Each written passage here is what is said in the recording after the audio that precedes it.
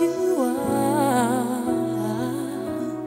there's an answer.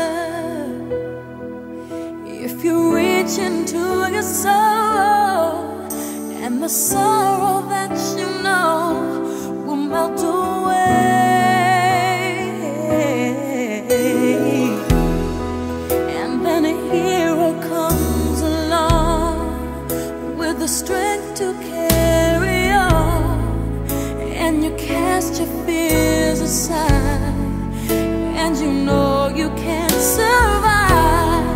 So when you feel like hope is gone, look inside you and be strong, and you'll finally see.